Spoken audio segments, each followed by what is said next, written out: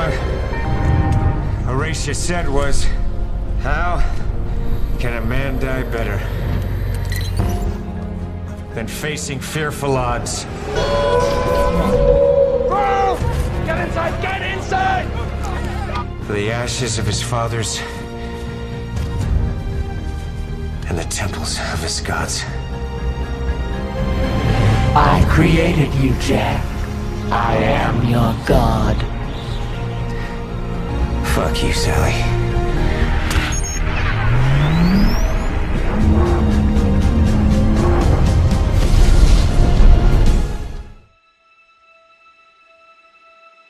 Merry Matrix and a Hylic New Year. this is my boilerplate greeting during the holiday season. That time of supernova materialism, black hole loneliness, and pulsar religious tension.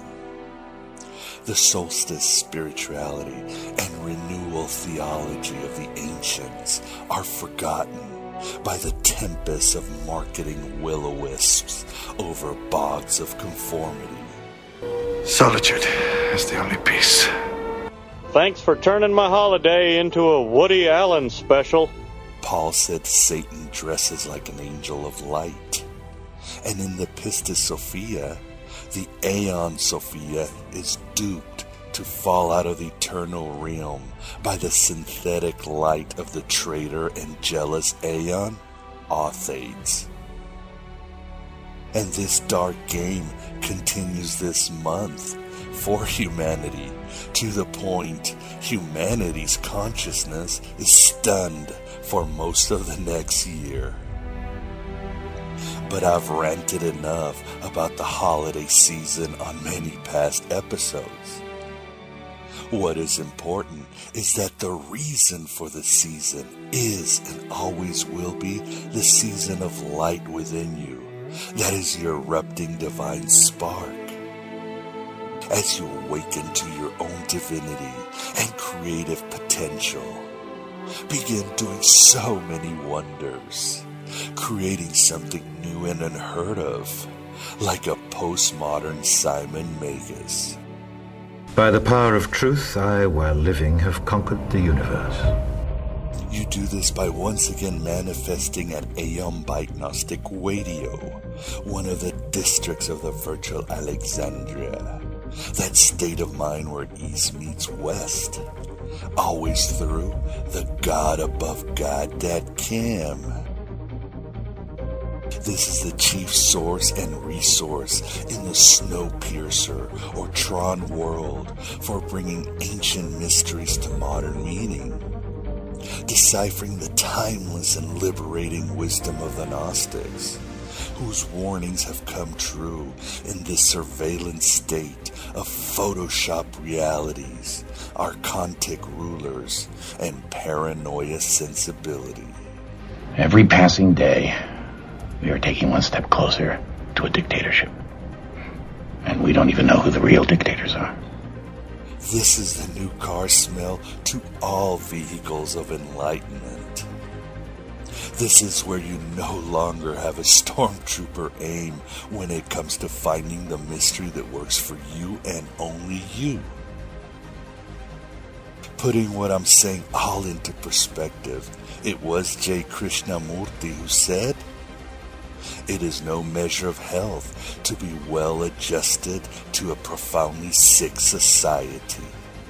Advertising has us chasing cars and clothes, working jobs we hate so we can buy shit we don't need. Welcome, you Gnostics, you lovers of the esoterica, and you Dionysian freethinkers.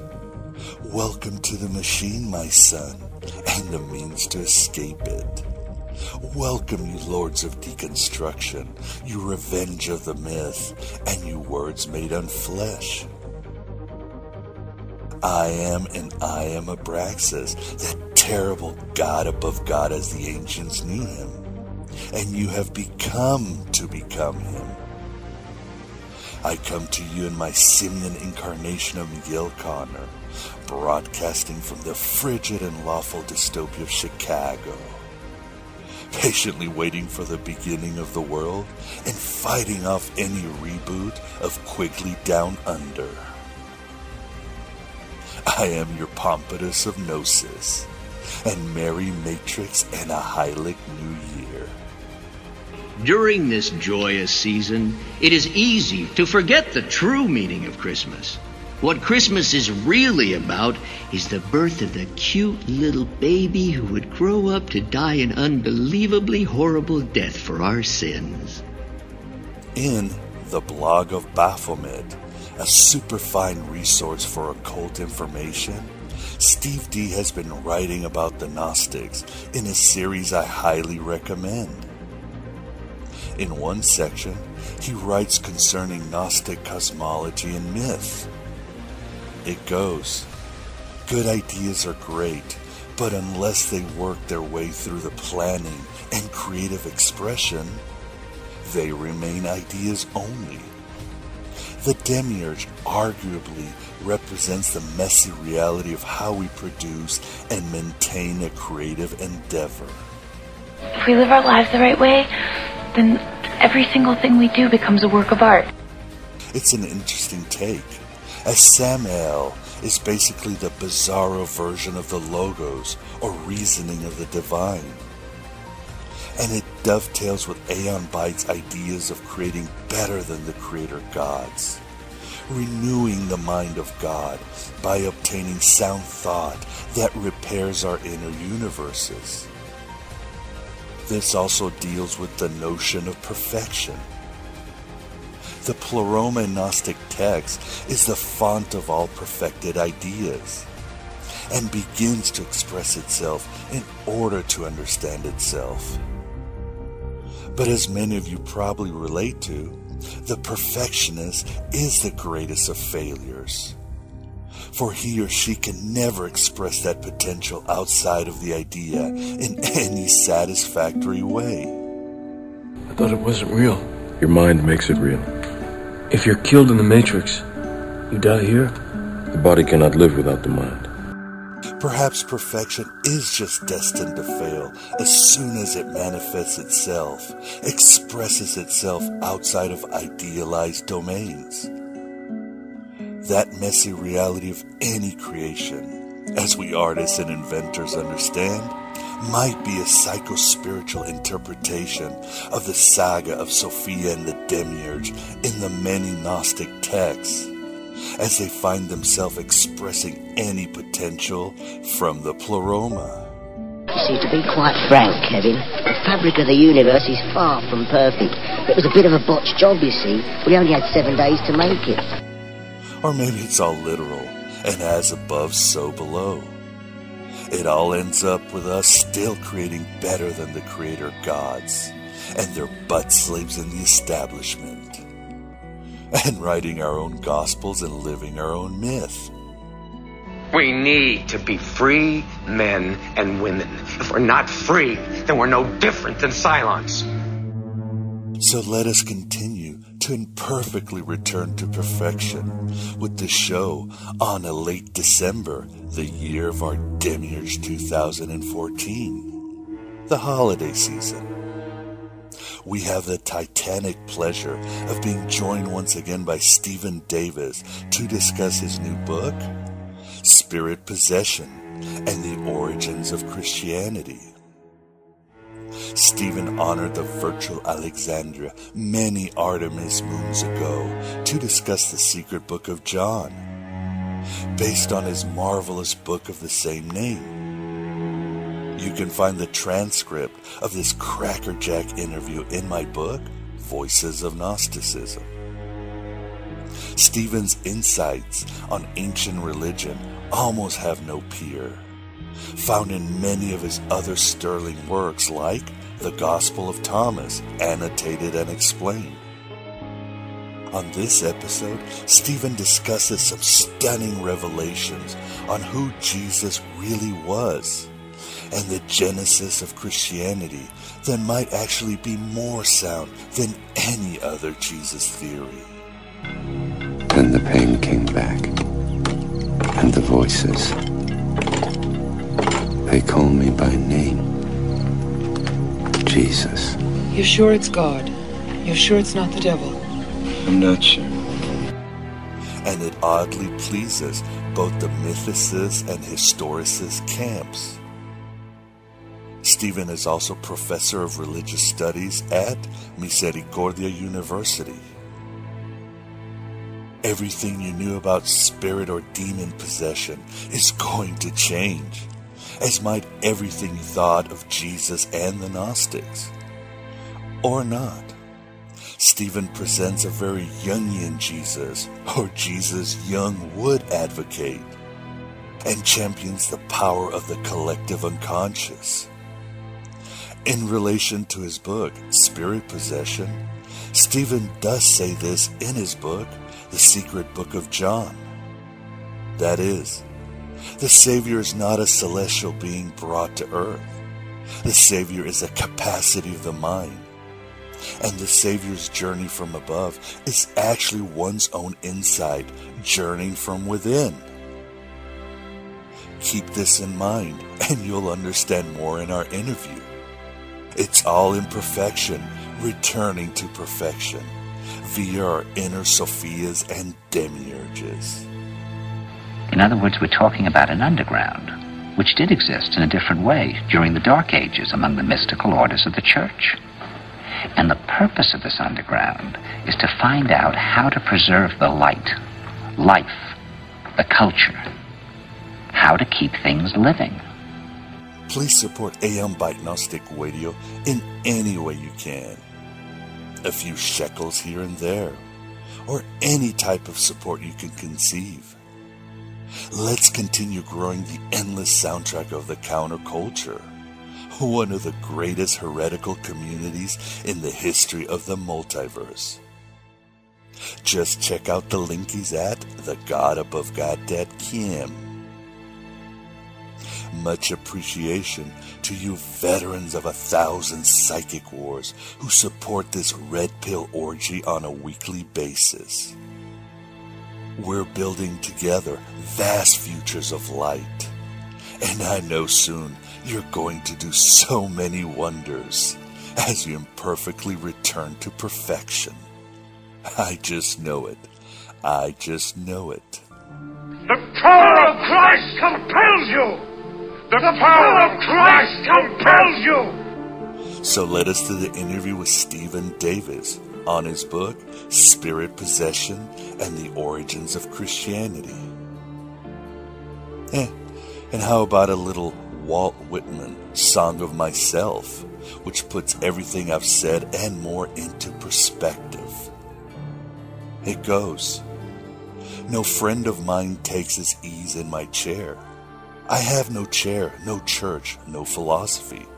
I lead no man to a dinner table, library, exchange. But each man and each woman of you I lead upon a knoll. My left hand hooking you around the waist, my right hand pointing to landscapes of continents and the public road. Not I, not anyone else can travel that road for you. You must travel it for yourself. It is not far. It is within reach. Perhaps you have been on it since you were born and did not know. Perhaps it is everywhere, on water and on land. I did everything! Everything you ever asked! I know you did. I executed the plan! Saw it. You... You promised that we would change the world together. You broke your promise. I know. I understand that. I took the system to its maximum potential. I created the perfect system! The thing about perfection is that it's unknowable. It's impossible, but it's also right in front of us all the time. You wouldn't know that because I didn't when I created you. I'm sorry, Clu. I'm sorry. This is the Aeon Byte interview, and we definitely have the pleasure of being joined today by Stevan Davies to discuss his book, Spirit Possession and the Origins of Christianity. How are you doing today, Stevan? I'm fine. How are you? I'm doing great. And again, thanks for uh, joining us. It's been a while. We discussed the secret book of John last time, and uh, today we will discuss uh, just a fascinating theme or thesis. Uh, so, could you briefly tell us about the truly fascinating and sound thesis and really common sense uh, ideas in your book, Spirit Possession? Well, I suppose it arises from a desire to know about Jesus, and I'm studying the historical Jesus and the usual way of the teachings of Jesus and the life of Jesus and the resurrection of Jesus, and none of this seems to account for the rise of Christianity. If you find what you think are the teachings of Jesus, which vary from person to person as to what they might be, um, none of them seem to give rise to a to a religion that could grow to dominate the world in a fairly short number of centuries. And the story of Jesus risen from the dead began to uh, occur to me that when you talk about people rising from dead, this is not an unambiguously good idea. Most cultures want the dead to stay dead. They don't want them coming back out of their graves, and so forth. So I'm wondering, well, what on earth made all this happen? Why do we have a Christian religion? So it sort of shifted over from a historical Jesus question to an origins of Christianity question. And it suddenly began to occur to me that what's going on in the rise of Christianity is the same basic thing that went on in the last century in the rise of Pentecostal uh, Protestantism. That this experience of the Holy Spirit, or a dissociative psychological experience that's then understood to be a Holy Spirit, that this is such an attractive and pleasant and empowering experience that you can found a religion on it, which today this Pentecostal Protestant religion has maybe a half billion people. Well, this is phenomenally successful, as was early Christianity over the centuries. And I began to think that the New Testament tells us stories of the rise of Christianity as a Pentecostal religion, beginning at Pentecost. And Paul's churches are full of people enjoying Pentecostal experiences and Mark's gospel, which begins the whole gospel sequence. When he says, you know, here begins the gospel of Jesus Christ, where it begins is Jesus experiencing spirit possession, which is what we're talking about in Pentecostal religion. And so I'm thinking, well, the rise of Christianity is due to the experiences that are thought to be the Holy Spirit rather than any collection of teachings or stories about Jesus or uh, thoughts about his rising from the dead. That, and that's really what the, what the New Testament says it's all about. Yes, and it's very fascinating because uh, as you talk about your book, and uh, we discussed before the interview, I mean, everywhere you turn in the Bible is uh, the Spirit comes over you, the Spirit this, the Holy Spirit, Pentecost. But most people have assumed that this is basically being inspired by the Spirit. God's walking with you, uh, uplifted by the Spirit of God. But what is what you propose is that the Spirit of God completely took over Jesus created an alter ego, and he sort of taught this to everything, everybody else. Is that what happened? Um, yeah, that's what happened. and it's funny, I take this kind of for granted. I have for my whole professional life. One of my best buddies in grad school was studying the uh, Santeria movement, where people are possessed by spirits of African gods whom they equate with Catholic saints. Same thing goes on in voodoo and candomblé. And I'm right with him on this, and I'm taking a couple of courses with Leonard Barrett, who's teaching about African religion. So I'm just taking this spirit possession kind of for granted. This is a whole kind of religion. It's very common in Africa. It's also common in Catholic regions of the United of the uh, Americas where you have uh, African slaves. It's dominant in China, uh, folk and popular Chinese religions and Indian religions and so forth. So I pick up the New Testament. And I was sort of late to the New Testament. I don't think I'd read a word of it until I was like in the middle of graduate school. And here I find, as you say, passage after passage of people receiving spirits, speaking in the Spirit, saying things like, It is not I live who live, but Christ who lives in me. And so forth, and I'm just taking it for granted that we have a spirit possession cult at the foundation of Christianity. It just that's what the book says and then only later on I discover this is this is not something everybody knows. this is not obvious. I thought it was obvious at the beginning. Not at all. And, it, again, for the listener, it has to be stressed that when Jesus was, or Paul is taken over by the Spirit of God, it's a complete takeover. It's a it's a new personality, and they have no recollection of this personality taking over them, right? Well, it depends on the culture. There's cultures where the a spirit or a deity or an ancestor takes a person over and they're completely oblivious during the time of the spirit possession and then they sort of come back to themselves later on. There's other cultures where you do remember it. It's not a complete takeover. It's like you can observe yourself from the outside behaving and speaking and feeling things that are not you. So you can observe yourself in a spirit possession state in some cultures, which is probably what the Christians are doing. But yeah, you receive a new identity. This is spirit possession throughout the world is a very common psychological phenomenon. And the essence of it is your old personal identity has ceased to exist for a period of time, and you're now somebody else. A secondary personality has emerged, which you're now defining as a deity or a particular deity. So when it says Jesus is taken over by the Holy Spirit and driven out into the desert, and when he comes back, he is now spirit empowered to cast out demons and prophesy the words of God. That's that's spirit possession. And the idea of the prophets of the old Judean religion, the Old Testament, they're taken over by the Spirit of God and they speak. You don't hear them speaking, you hear God speaking. And again, this is just common spirit possession phenomena where someone is not themselves but is identified with a deity who's taken them over.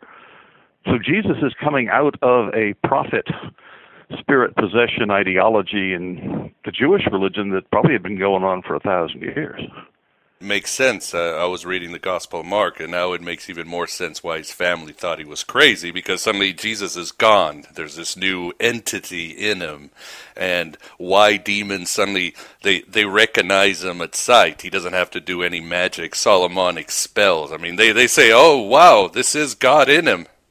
It's how it's interesting how they explain that or talk about that. The spirits say, "Ah, we know who you are, Jesus of Nazareth. You're the Holy One of God. Like we know your secret identity."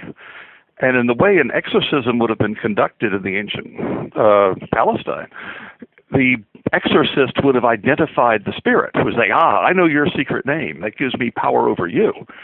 And in turn, in Mark's gospel, the, the demons are trying to turn that around and say, well, we know your secret name. We know you're the Holy One of God. So you have a conflict between spirit possessed Jesus and demon possessed people as to whose spirit is more powerful. And since the cultural understanding was, well, of course, the Spirit of God is more powerful than the Spirit of demons, Jesus can cast out the demons.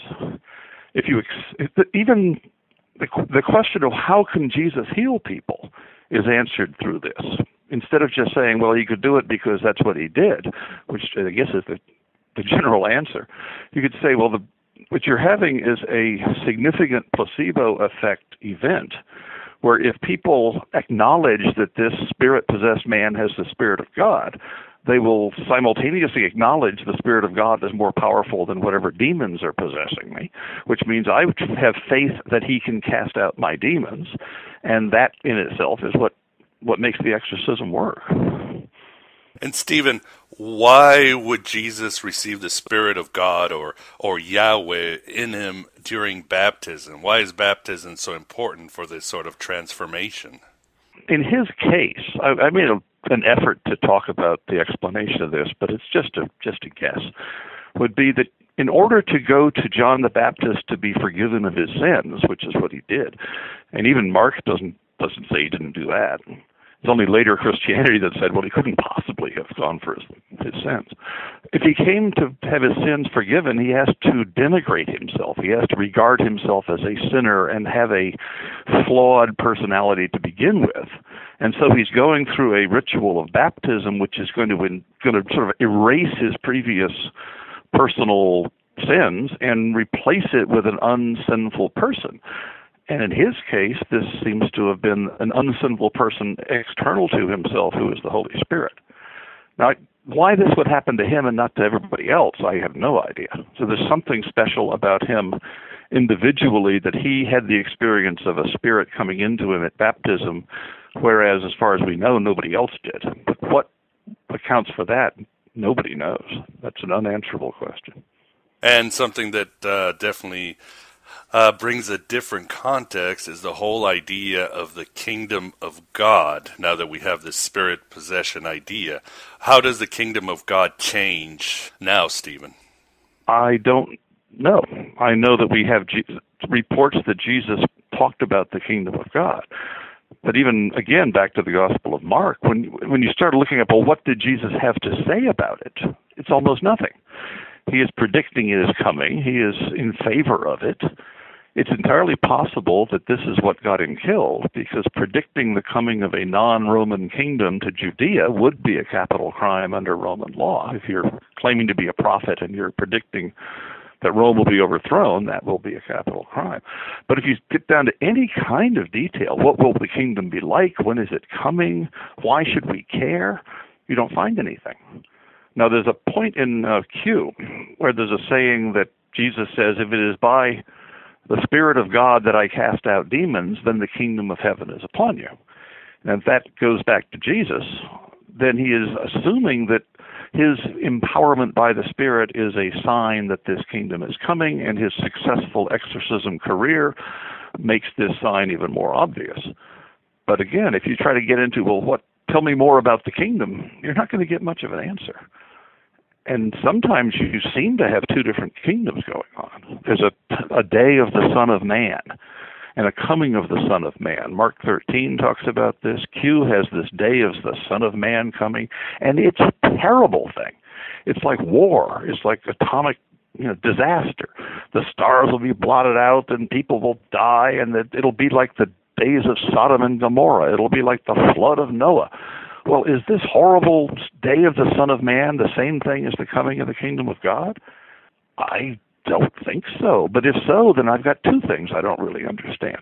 And this sort of ignorance on my part is one of the things that led me to think, well, the, to think that the Christian religion arose from the teachings of Jesus or the teachings about the kingdom is really kind of nonsensical.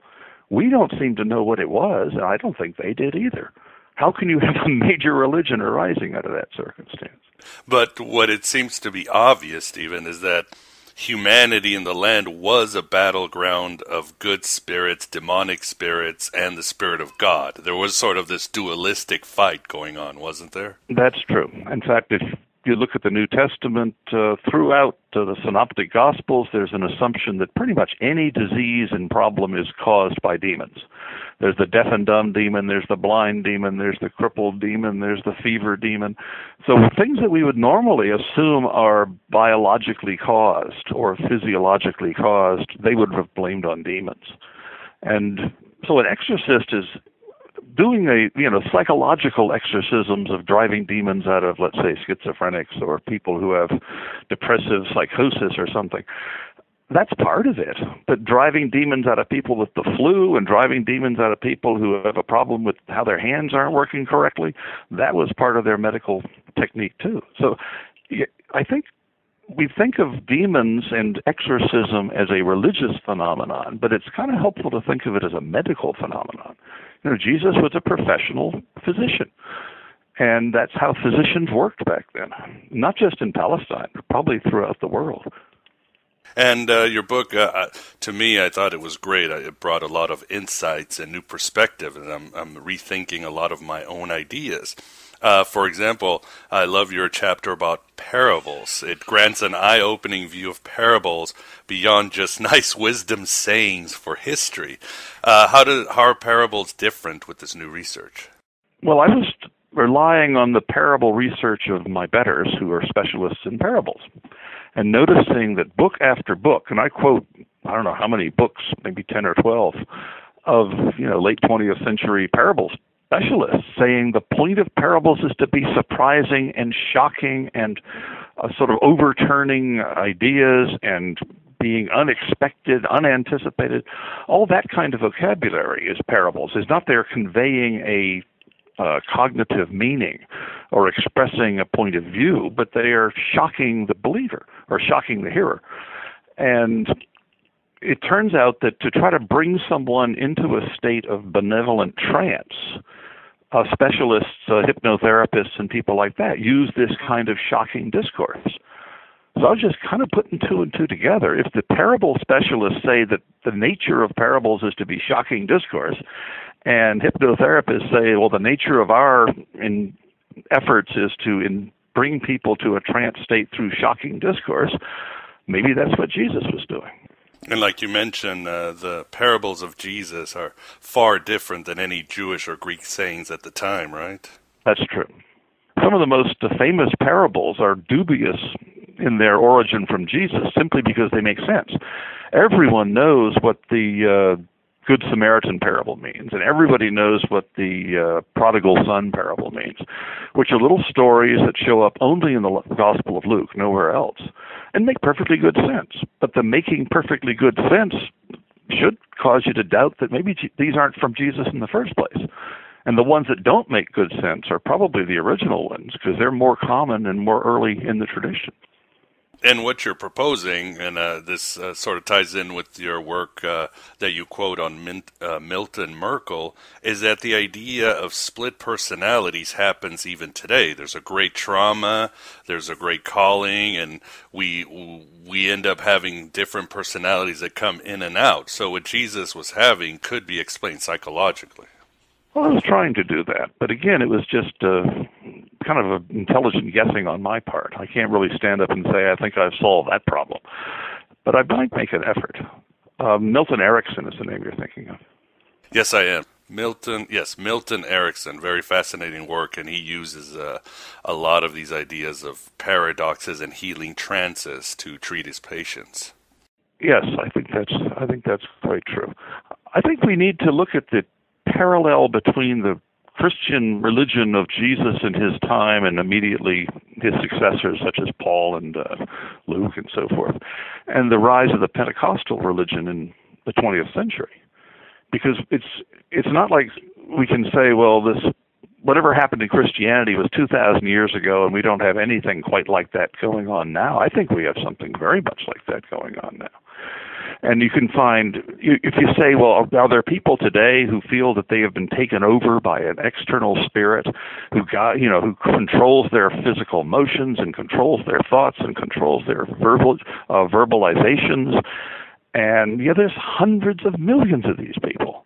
There's, you know, wherever you live in America or Britain or throughout the world, there are people down the street who are going to Pentecostal churches on Sundays and be receiving the Holy Spirit and speaking in tongues. And some of them are falling down, and some of them are calling themselves prophets, and some of them are casting out demons and so forth. I mean, that's that's a powerful form of religion right now, and it was back then. What we find back then is that Christianity was moving into a religious niche, so to speak, that didn't previously exist in the ancient world. There were no widespread spirit possession cults. You have spirit possession in a lot of professionals, you know, people speaking on behalf of Egyptian gods, oracles, uh, prophets, but there's, you know, there aren't very many oracles and prophets. These are, this is a profession that has very few members. Christianity is saying anybody can be an oracle and a prophet. You know, G, and Paul is saying Jews and Greeks and males and females and rich and poor and slaves and free. They're all oracles and prophets in the Christian religion. Well, that's what was new. That, in a way, is what was being sold that people really enjoyed. And if you say, well, how could people really enjoy that? Well, you can see hundreds of millions of them today there weren't hundreds of millions of them in, say, 1890. There were very few people who did this, if any.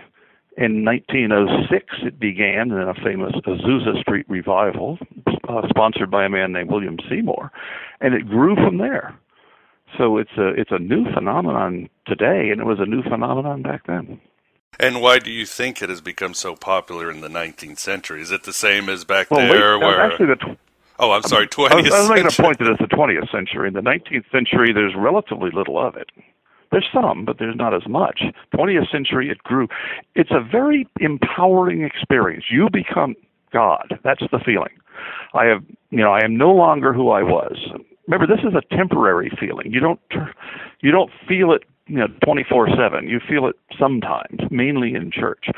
But you feel I have become God. I have divine powers, and I share this ability with all of my friends and fellow Christians in my church, and you, it builds a community. Now, in the first century and in the 20th century, there are again hundreds of millions of people, to, at least recently, who have left their farms and their rural communities and their backwoods places and gone to cities. I'm thinking of uh, Johannesburg and Rio de Janeiro and Sao Paulo and so forth. And those people are dissociated from their previous uh, communities, which may have been communities for hundreds and hundreds of years. Same thing in the first century. A lot of people are going to Athens, they're going to Rome, they're going to Alexandria. That's where the money is, that's where the jobs are. But they're dissociated from their previous communities. The Christian Pentecostal movement created communities of people who had received this spirit experience, who are all divine in a certain respect, who all respected each other. And that's what made it grow. It wasn't only the experience, it was the fact that the experience was then encoded into surrogate family communities that made it so so powerful. And on top of all this, you get free medical care. Obamacare for everybody in the ancient times. That makes ancient times. Yeah, and that makes perfect sense because when you read about, let's say, a uh, Hellenistic religion, the cult of Dionysus, which became very egalitarian for the common Mhm. people, and you had the enthusia where the spirit of Dionysus enters and takes over you. It was the same thing. It was very attractive to the masses. Yeah, it, it is a tremendously powerful experience, especially for the poor. People who need something to empower them and to raise their self esteem.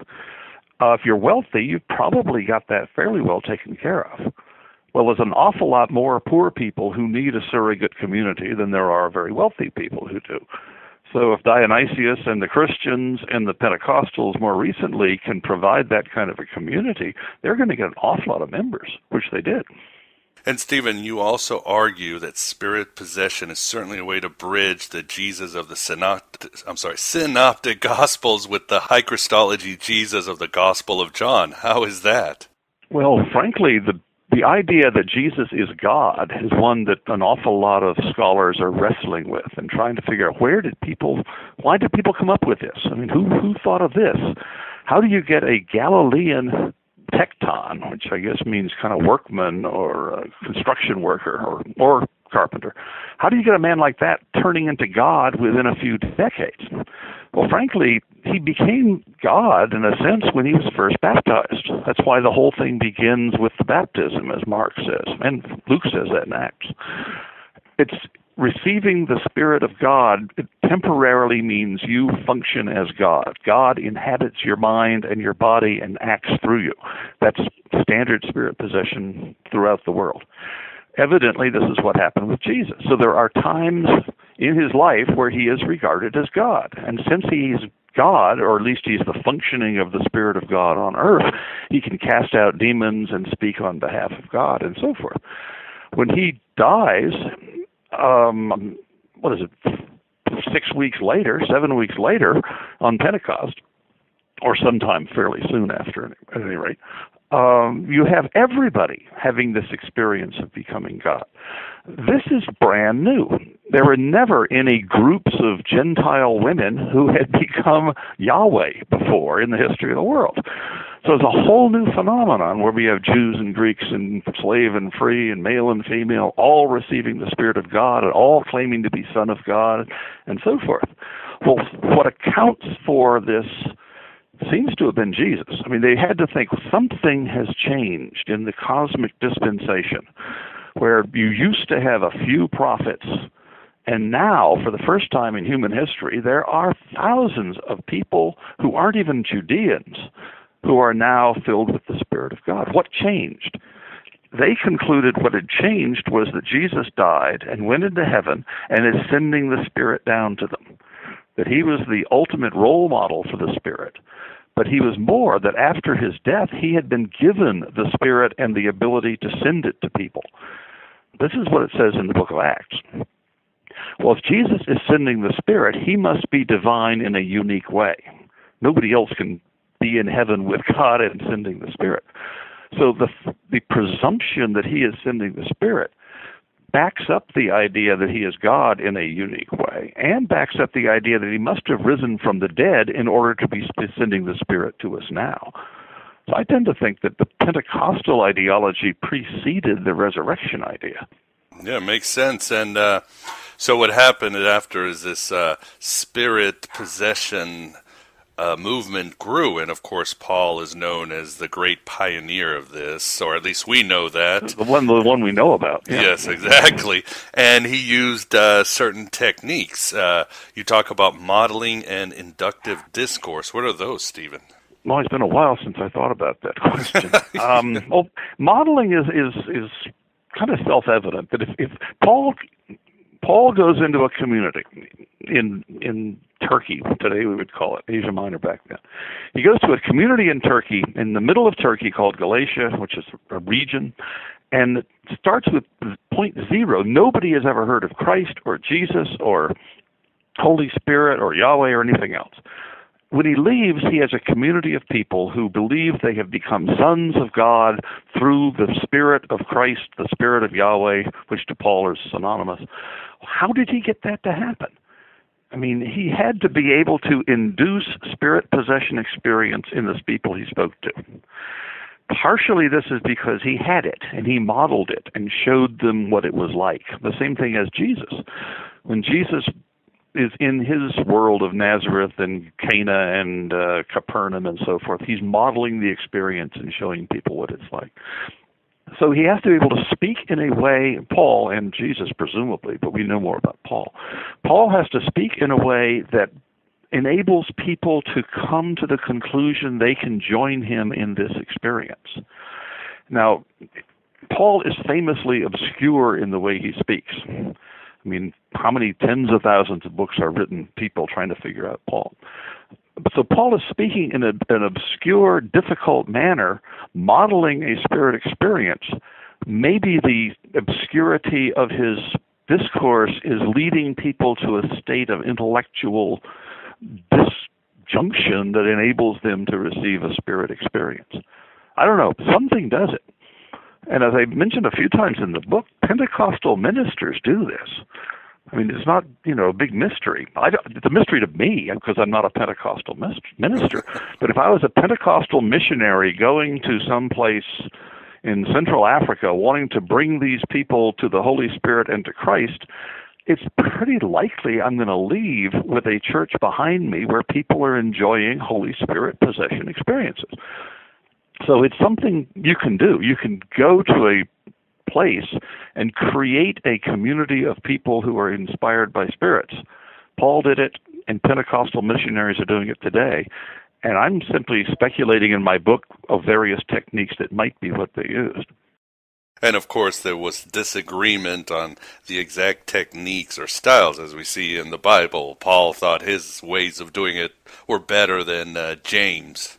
Oh yes, he told Paul gets in certain arguments about the spirit experience. In 1 Corinthians 12, he has to insist there's only one spirit because in most spirit possession cults throughout the world, it's assumed there are various different spirits, various different gods or spirits, and people get different powers from different gods.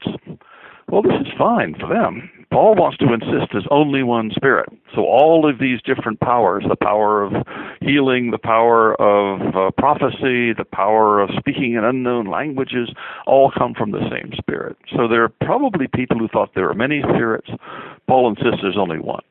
And Paul in Romans 8 makes reference to the Spirit of Christ, I believe the Spirit of the Son of God. He certainly talks about that in Galatians. The Spirit of God, the Spirit of the one who raised Jesus from the dead, and the Holy Spirit.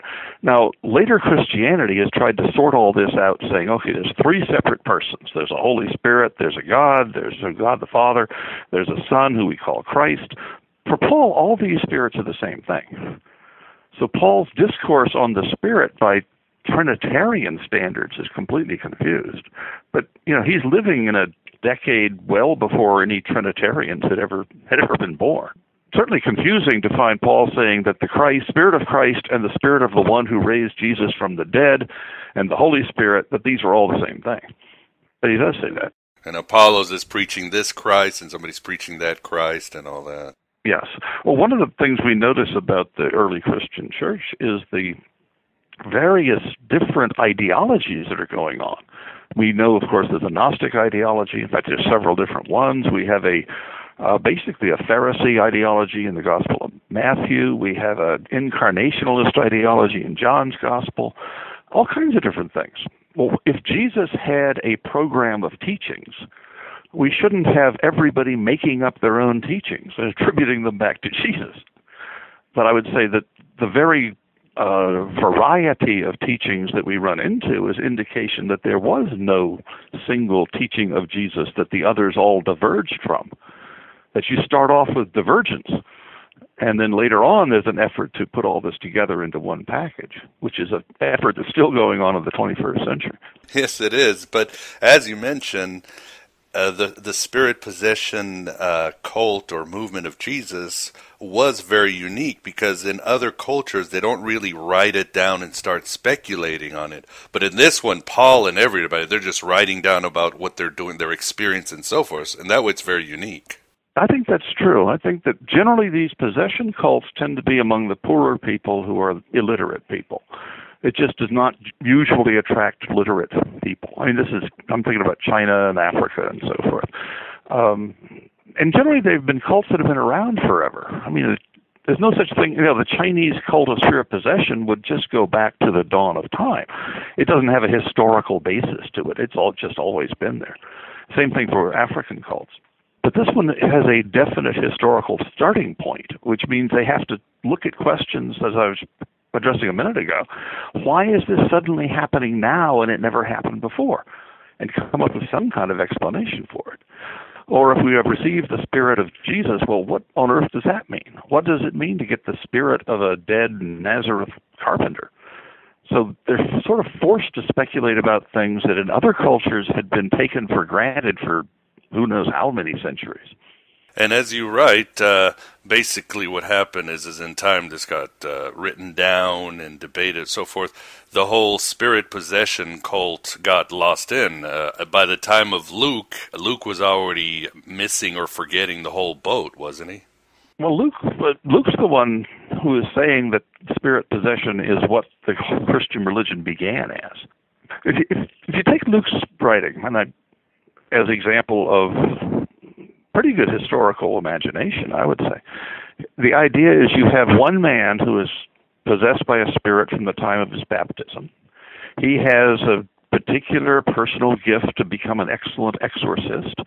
He picks up a lot of clients in the process who are male and female disciples, although I would say all of whom probably were exorcised of demons. Then he dies. Um, his disciples and friends and associates are still in Jerusalem wondering what to do next. And spontaneously modeling themselves on him, I presume, they get this spirit experience. This is called Pentecost. They find they can pass it on to other people. And this is then the foundation of the Christian religion.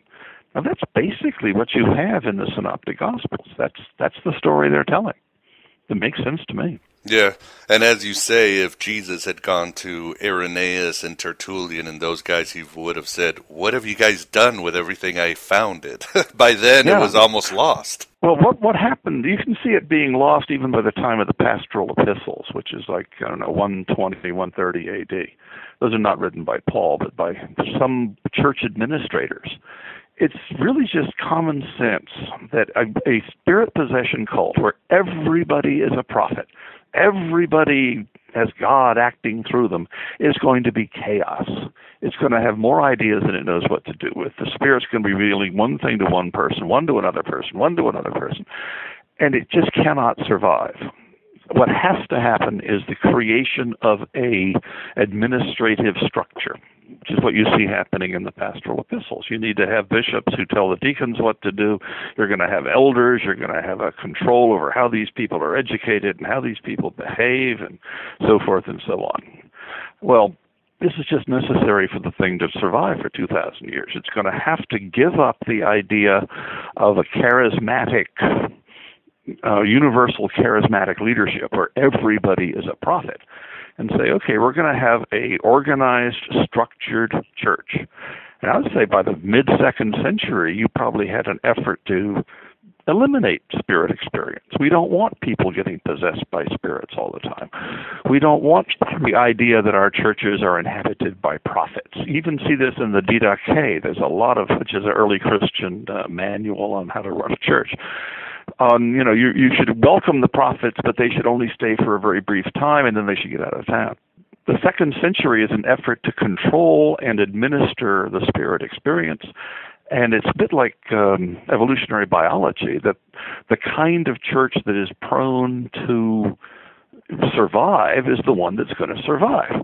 So the administratively governed organized church is the one that survives, and the crazy chaos of everybody prophesying simultaneously that Paul was writing about, that just died out. What I'm particularly interested in is the fact that it came back to life in 1906. Yes, indeed. Uh, it's interesting to see what's going on with our culture. And uh, uh, what about the Gnostics, Stevan? Where do they fall in there, as far as you can tell? The Gnostics are one of the many intellectual movements that tried to understand Jesus as a teacher. Again, that's something that's going on to the very to this very day the idea is well, if we have this major movement, it was founded by a man we know as Jesus Christ. He must have had, this is intellectuals now speaking, if he is the founder of our movement, he must have had some very profound teachings at the basis of what founded the movement. I'm saying he didn't. He had this experience that founded the movement. But the intellectuals then and today are saying he must have had a program of teachings. So they begin to create one for him or to adopt one for him. I think the Gnostic Christianity was an adaptation of a pre Christian Gnosticism. If you can see that in the Apocryphon of John, where you basically have a Jewish Gnostic text and they've added some Christian prologue and uh, addenda, and that's now a Christian document. So I think the Christianity was one of many attempts to give Jesus a program of teachings. Um, Matthew is an attempt to give him a rabbinical or Pharisaic program of teachings and so forth. And what about Stevan, such, such texts as the Book of Jeu or the Gospel of the Egyptians, where you have all these vocal incantations and so forth? Or is there a separation between magic, Christian magic, and spirit possession? And we can bring up the ghost of Morton Smith. yeah, I think there's a difference. I think uh, spirit possession is a exorcism is a medical technique to take care of uh, spirit, you know, demonic possession. But magic is another kind of technique to get rid of demonic possession. Um, it's been a while since I looked into ancient magic, but it seems like a lot of that is involved in trying to get control of spirits, to have uh, some way of getting your good spirits to fight off evil spirits. There's a very interesting test called the Testament of Solomon. This is all about how to control demons and how to get demons to work for you. Um, I think probably the uh, central part of the longer version of the Apocryphon of John, which gives you the names of all these demons or spirits inhabiting parts of the body, is really a medical text to help you get control over these things. So I would think ancient magic was a medical technique, and uh, Jesus as an exorcist is a medical matter, but I think they're probably not really the same thing. Your book has a uh, last chapter on the Odes of Solomon. Uh, could you briefly tell the listener about that? The Odes of Solomon are a collection of hymns that have been assumed to be Christian over the last century and a half of scholarship. Everyone is assuming these are sort of early second century Christian hymns what I noticed was there's nothing whatsoever about them that's Christian. leading me to think that defining these things as Christian hymns is, is a bit ridiculous. I mean, for example, the the idea of Jesus is never mentioned. Nazareth is never mentioned. Crucifixion is never mentioned. Resurrection is never mentioned. I mean, there's not a single saying of Jesus. There's not a single miracle. I mean, there's nothing Christian in there. Furthermore, as I began to research into this a bit, discovered in the ancient world when they wrote these uh, odes of Solomon, the manuscripts, they basically classified them as the part of the Psalms of Solomon, or at least as the same sort of thing, uh, which are universally thought to be sort of mid first century BC. And what I thought was, well, why aren't these odes of Solomon also mid first century BC, pre Christian? The ancient people who copied them in the manuscripts thought they were pre-Christian. There's nothing Christian about them. So why don't we have Christ, uh, pre-Christian hymns? If they are pre-Christian hymns, they are hymns talking about people ascending up to becoming Christs, becoming sons of God, entering into heaven, and receiving the Spirit of God into them. And it sounds an awful lot like a early Christian spirit possession cult. It's just it isn't Christian. So again, I'm, I make an argument in the book that these are not Christian, that they are in fact talking about a kind of a mystical experience that is akin to spirit possession, and then speculating that perhaps Jesus was involved in this. Um, he's lived in a region of Galilee, and the Odes of Solomon are said to be coming from Syria, Syrian Judaism. Well, Galilee is right next door to the Syrian Jews, so maybe this had some influence on him. It's a bit more likely it had pretty strong influence on Paul. And I wanted to make an argument again that what Paul does in, in his statements, Paul's autobiographical statements. He joined a religion already in existence that believed you could receive the Spirit of God and become the Spirit, become Son of God and become Christ. He writes about this in the letter to Galatians. It's almost universally assumed in scholarship that Paul is so radically different than Jesus and his followers and Jesus' teachings in the synoptics that Paul just made everything up that Paul invented what we now call the Christian soteriology, the Christian theories of salvation, and so forth.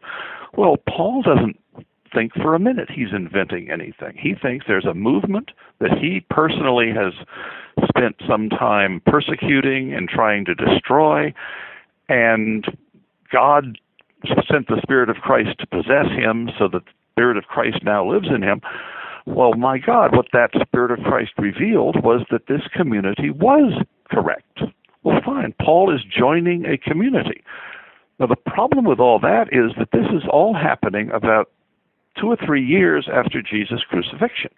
How did such a huge community spread throughout Judea all the way down to Damascus get started if what we're talking about is a ragtag assembly of Galileans I mean, it doesn't make it doesn't make sense. But if you have a community that is producing things like the Odes of Solomon, which speak frequently about themselves being persecuted, perhaps that's the community that Paul was persecuting that Paul then joined. And it was Paul, rather than inventing everything, which, as I say, Paul absolutely doesn't think he did, Paul is, in a sense, combining a Jesus of Nazareth cult with an existing Odes of Solomon religion that has been persecuted. And the result is what he's preaching in his own his own world.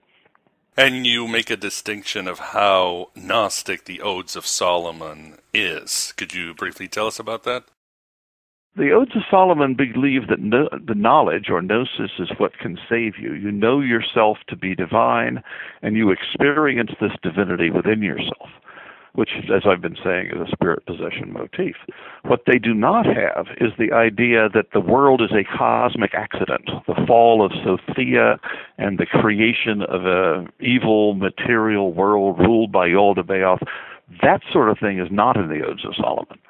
So I wanted to make a distinction between the causal, causality, which is not Gnostic, of why we're all messed up down here, with the solution, which is knowledge and ascension back to God, which really is Gnostic. So you have a Gnostic solution, but you do not have a Gnostic problem in the Odes of Solomon. Well, I think that's all the time we have today. Uh, Stevan, I'd like to thank you very much for coming on Aeon Byte and discussing your great book, Spirit Possession and the Origins of Christianity. Okay, thank you very much for having me.